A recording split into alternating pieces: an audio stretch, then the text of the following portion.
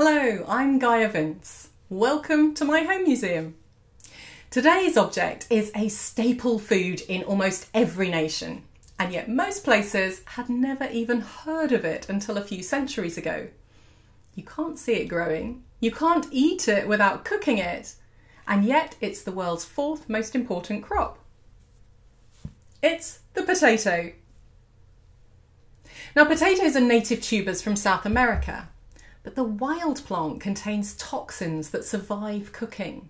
So the Andean people who ate them had to learn by watching native vicuña, which eat clays um, to absorb the toxins. And they made a clay and water sauce to dip the potatoes in.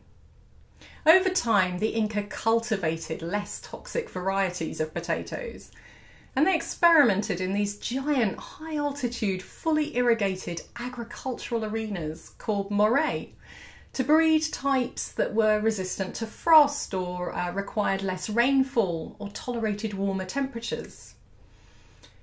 I mean, it's kind of amazing because people often talk about domestication as something fairly unintentional, a kind of semi guided evolutionary process whereby farmers select the biggest and healthiest crops to plant, and from this emerges the diversity that we enjoy today. But I have visited one of these remarkable moray in Peru, just outside Cusco, and I can only describe it as a pre Columbian scientific laboratory where the Inca deliberately created hundreds of new varieties which helped make the potato a dependable, highly nutritious staple for the indigenous people. And they also made a kind of freeze dried sort of noodle from it called chuño, which could be stored for decades at a time. Once the potato was introduced to Europe, it transformed the continent's fortunes.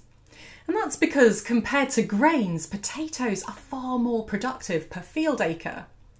Because if a seed head grows too big on wheat or rice, the plant can't stand up. But tubers grow underground where they can grow enormous. And hidden underground, they're also hard to tax or steal or burn during periods of social unrest. Potatoes are also relatively easy to grow, especially if they're propagated as clones from a bit of the tuber. And they're extremely nutritious. So smallholders began to grow potatoes on their fallow land, and this effectively doubled Europe's food supply in terms of calories.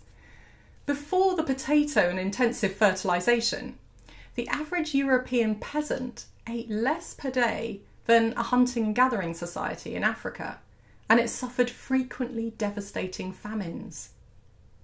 The introduction of potatoes liberated the continent from famine and it increased the general health and survival of the people.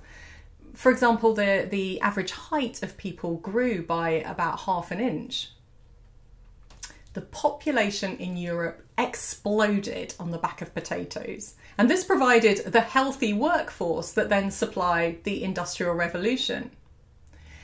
It was also thanks to the potato that a handful of European nations were able to dominate the world for the past few centuries. Dependency on a cloned staple, however, does leave a population vulnerable, and the potato blight that hit Ireland destroyed its main food source.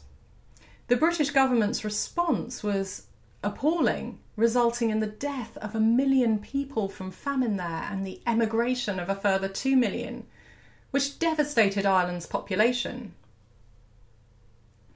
Even today, blight, climate change, poor soils continue to threaten our potatoes. And part of the reason for this is that despite the hundreds of varieties grown in Peru and Chile, most of us rely on just a handful. It could be our undoing